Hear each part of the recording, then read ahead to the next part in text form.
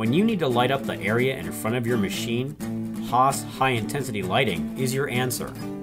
Dark corners and deep shadows disappear, making it easy to see the parts you're loading, the tools you're changing, and the finished parts you need to inspect. The high intensity lighting option is just that a pair of bright, long lasting LED lights that provide instant illumination exactly where you need it. The lights are easy to use. They power on when you open the machine's door and shut off when you close it. You can also switch them on directly from the pendant. These maintenance free LEDs produce light, but not heat, so they don't waste energy. And since they're powered by the machine itself, there's no additional wiring to worry about.